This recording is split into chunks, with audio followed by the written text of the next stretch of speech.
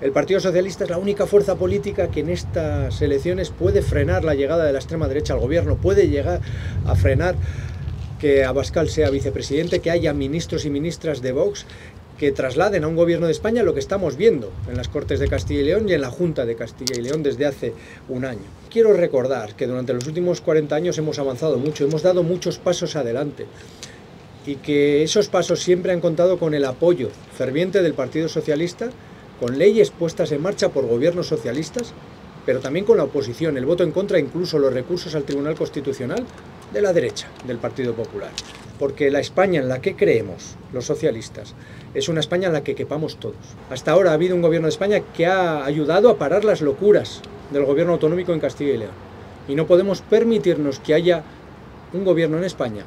que ayude, que contribuya a que estas locuras sean aún mayores y que desde luego hay partido y el Partido Socialista será el que gane las elecciones y Pedro Sánchez volverá a ser el presidente que España necesita, que España merece para seguir construyendo la España que queremos.